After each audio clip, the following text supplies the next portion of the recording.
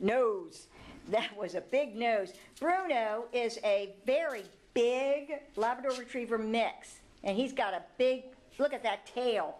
That tail. Oh, he likes the balls. Let's see if we can, let's see if he likes a little bit of biscuits. Hey, Bruno. Bruno, can you sit?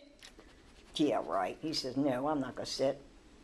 Look at that pretty boy. There you go. Here, take it. You don't want it? Okay, ready? There you go. He had very soft mouth. He really took it very gently. He's very, very sweet. He is uh, two years old. Hi, Bruno. Hi, look at those little pretty brown eyes. Bruno is two years old, male, Labrador Retriever mix, and he's black. He's a black lab. He says, I smell another dog here. Let's see, what do we got here? What do we got here, Bruno? We got something in here? Here. I did a small one for you. Look how pretty his eyes are. He's a good dog. Here you go. That was very, very good.